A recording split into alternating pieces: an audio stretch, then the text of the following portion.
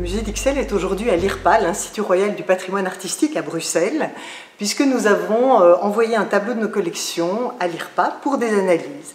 Nous avons en effet le projet, grâce à la Fondation Roi Baudouin et au Fonds Jonker, de restaurer un tableau qui s'appelle La Source de Sérusier.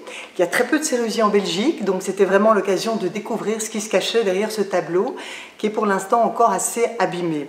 L'IRPA a fait trois types d'analyses, a fait une radiographie de l'œuvre, ce qui a permis de voir euh, la structure interne de l'œuvre, ainsi que par exemple l'usage de blanc de plomb dans certaines couleurs. Ensuite, une réflectographie par infrarouge qui a permis de voir le dessin préparatoire de l'artiste. Et d'ailleurs, on a découvert que ce n'était pas un dessin au crayon ou au fusain, mais plutôt un dessin euh, à la plume et à l'encre. Et ensuite, euh, on a fait des analyses de la peinture même, donc pour voir si c'était de la peinture à l'huile, comme classiquement sur une toile, ou autre chose. Et on a en effet découvert que c'était autre chose.